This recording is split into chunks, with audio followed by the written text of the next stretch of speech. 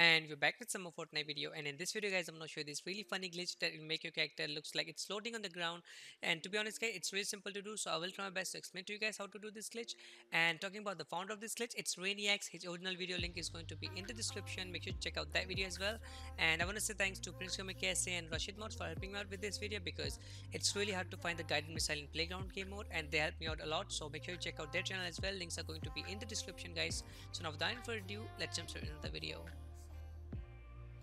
so now guys the glitch is pretty simple and easy. What you guys are going to need for this glitch is a guided missile and some materials and a launch pad right. So once you guys get all of the things make the structure just like this like I'm gonna do and I don't think it's really necessary to make the structure but just make it just to make sure so you can do the glitch correctly right. So make the structure just like this and destroy the stairs and once you guys make the structure exactly like I did place the launch pad on the floor and then you gotta shoot the guided missile and jump at the same time so it's, it's gonna be like you know when you're in the air you gotta shoot the guided missile I'm gonna show you and it might take few attempts for you guys but it's gonna work okay? So shoot the guided missile and jump at the same time. So I'm gonna recommend you to do one thing.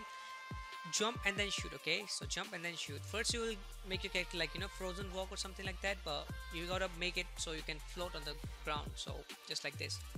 And it might take few times guys as I said. So you gotta jump and shoot.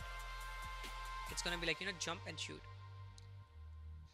And you have to be perfect just like this. So once you guys see this animation that means you did the glitch correctly but if you jump you're gonna mess up with the thing. Is as you can see right now I dropped down so I messed up with that glitch. So I'm gonna do it again and I will show you again how to do it. So it's really simple guys to be honest. So you gotta jump and shoot at the same time. So it's gonna be like this. And once you guys do it correctly you're gonna get the animation just like this and you will be just like this forever as long as you don't jump. And it's gonna be only in playground game mode so I hope you're gonna enjoy this video guys. And if you do it just smash like button if you can and if you haven't subscribed to my channel already subscribe to my channel and turn on the post notification. To never miss any glitches videos from me just like this.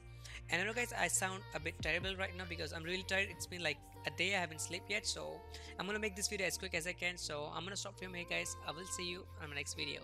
Peace out